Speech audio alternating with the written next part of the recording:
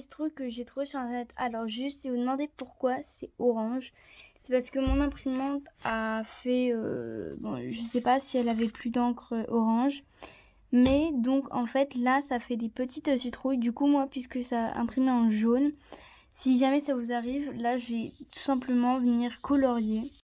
Je me demandais pourquoi j'en ai mis partout, parce que de toute façon je vais découper la citrouille. Du coup, c'est parti, on va découper la petite citrouille.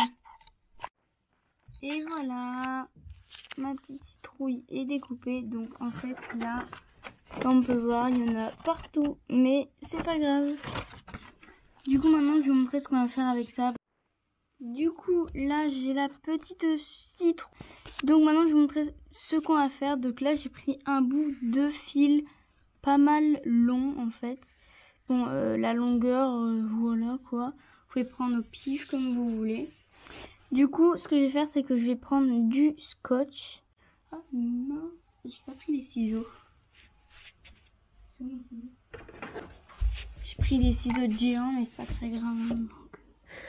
voilà quoi, ça va pas tout changer.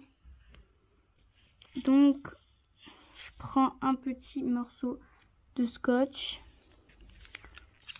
Euh, là en fait c'est transparent donc ça va être un peu compliqué à vous montrer mais à peu près cette taille. Ensuite, je le mets sur ma bande. Bon, moi, je vais commencer par euh, là, hein, vous savez quoi.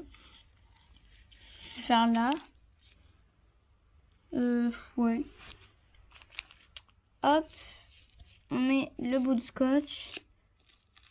Mince, il s'est scotché à ma moquette. Oh, c'est pas grave. Je mets ma citrouille comme ça. Je mets le scotch au milieu de la citrouille. Hop. Et voilà, la citrouille est prête. Maintenant, je vais faire ça sur une grande bande et je vais vous montrer.